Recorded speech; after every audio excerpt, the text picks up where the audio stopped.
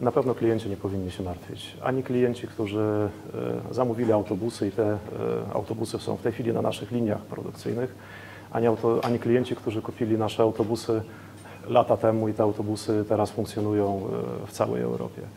Oczywiście, że zapewnimy takie wsparcie jak zwykle do wszystkich naszych produktów, zarówno tych, którzy już funkcjonują, na, jeżdżą po drogach Europy, jak też tym, którzy funkcjonują. Więc nawet autobus, który e, opuści e, fabrykę jako ostatni autobus, on dla nas jest takim autobusem, jak, e, jak każdy inny autobus, będzie traktowany absolutnie z taką samą uwagą, z taką samą dbałością o jakość, o bezpieczeństwo i, i z takim samym wsparciem, jak każdy autobus, który był kupiony wcześniej, jak każdy autobus Volvo. Więc klienci absolutnie mogą spać spokojnie.